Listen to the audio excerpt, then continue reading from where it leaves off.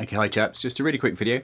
So the new uh, firmware, uh, version 3, has come out for the Sony a7R III and the Sony a7 Mark III. Um, I've just downloaded it and I've been playing around with it. Uh, kudos for Sony for giving us a couple of features which uh, I think we've, most of us have wanted, well certainly I, have wanted. Um, it has a bunch of little uh, little sort of updates in there. Uh, one of them is the, um, it's like a full-time Eye AF mode which essentially finds the eye even when you, are kind of not asking it to find the eye. So it's kind of like displayed on the screen, you get the little green box over the eye. Um, now for me personally, I had it set up as, I had my Eye AF set up as my um, custom button with the AEL. Uh, so it, it basically works the same as how I had it before. Apparently it's slightly improved, but for, for me personally, it works how I had it before, except for I don't need to hold the button on the back, so it's just kind of like it's always on. If you want it on, you can disable it obviously. Um, anyway, so for me personally, that doesn't seem hugely different, except for the fact I don't need to hold down a button on the back, uh, which is a benefit because it's one less thing for your, your fingers to do. So either way, that that's good. I haven't fully tested it, but apparently it's improved, and it, it definitely you, you, can see that it's working differently on the um, on the back of the screen because it's, it's finding the eye even when you're not asking it to find the eye. So that's that can only be a good thing. Uh, another thing we have is we have we now have actual a proper intervalometer. So we have time lapse in camera. We've always had the S and Q, but the S and Q isn't actually very good. Uh, isn't very high quality. You know, it's not doing it in RAWs. It's not it's not giving the options that a proper time lapse, um, you know, videographer, photographer, whatever you want to call them, uh, wants. But now we have got proper time lapse in camera. Um, in like the old Sony's, you'd have to download an app to enable uh, proper time lapse intervalometer, or by you know something separate like an actual in, uh, intervalometer or like a Syrp Genie or something like that, which controls the camera. Uh, you know, a third-party device basically. So that's really cool. And so to find that, you basically want to go into the menu and go to the uh, the first folder, and then it's the fourth page along, and then you've got your intervalometer shoot function or intvl dot shoot dot func dot basically. Uh, and then you've got your end you know your start time so you can have a bit, a bit of a delay you know if there's a camera wobble on the tripod after pressing the button or something like that. Start you can change your start time and then your interval time and then number of shots and different uh, auto exposure tracking sensitivity. I mean I would generally do that in manual anyway so I just I use it in, in the manual mode and not worry about that but um, either way, it seems to have the kind of options that you're going to want for for a decent uh, time lapse. So one thing I'll say about that, if you if you're not used to doing that, um, if you're using RAW, now RAW is obviously going to give you a lot more scope. It's more work in post to, to deal with the RAW the RAW files. But bear in mind that the if you if you if you put your interval too close together, um, the RAW can get backed up and it can mess mess up your time lapse.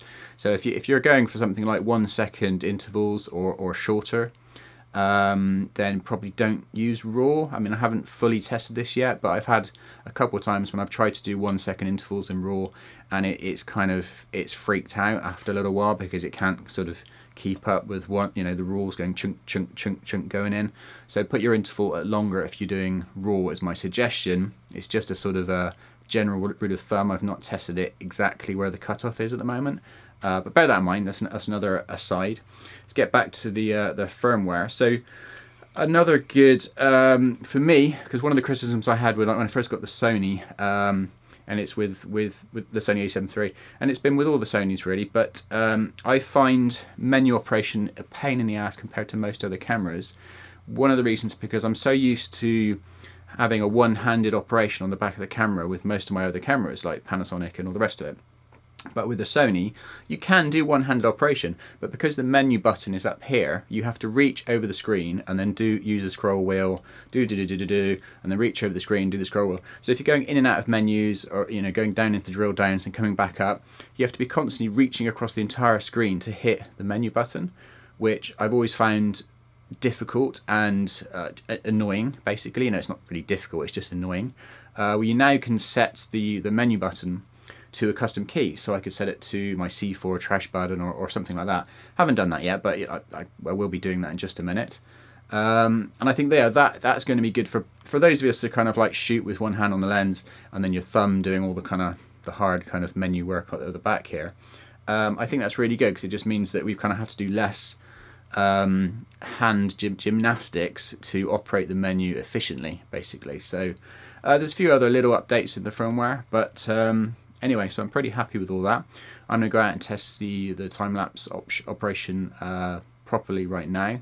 Um, I'll stick on a little um, uh, video at the end of this so you can get an idea uh, what that looks like. Uh, but yeah, from my first little um, tests, yeah, it seems to be all good. Uh, you know, I don't. I, I, I'm also going to test the uh, the video autofocus. If that has improved, I'll stick on a video of that at the end. If it's sorry, I'll, I'll re-say that again. I'm just about to test the video autofocus on adapted lenses because I have some Sony lenses, but I mostly use adapted Canon and Sigma lenses. Um, yeah, I'll test the video autofocus for that.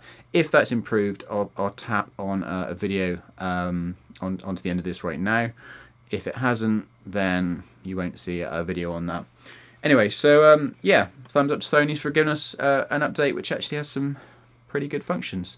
Uh, other thing I forgot to mention, it now has animal Eye AF as an option, which is cool for those, you know, the wildlife videographers, I guess, but me personally, I found it, it found cat's eyes and animal's eyes before, so I don't exactly know what it's done to um, uh, update that. Maybe, you know, for, you know, bird's eyes and stuff like that, they, it just, the, the, the old algorithm just wouldn't detect that as a face, it wouldn't detect the eye, whereas now as it will. I don't know, I'm not a wildlife guy, so you have to ask somebody else about that one, but it's another cool feature, I guess. I'm not going to be using it, but yeah, still pretty cool.